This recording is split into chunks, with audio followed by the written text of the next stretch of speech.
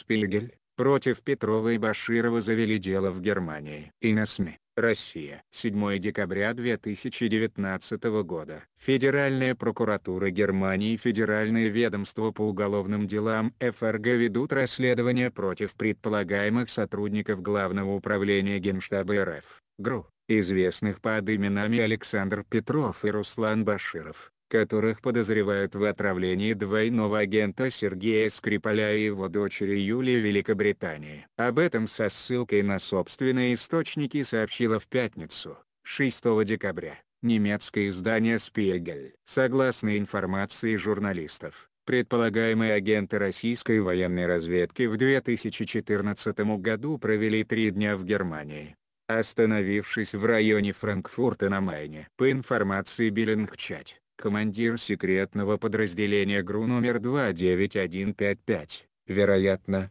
имел контакт в ФРГ. Эту группу связывают как с покушением на Скрипалей, так и с другими нападениями на противников Кремля в Европе. В частности, Немецкие следственные органы проверяют подозрения в возможной причастности государственных органов России или Чечни к организации убийства бывшего чеченского полевого командира Зелимхана Хангашвили, застреленного 23 августа в Берлинском парке Малый Тергартен. Убийца был задержан. Им оказался мужчина с российским паспортом на имя Вадима Соколова.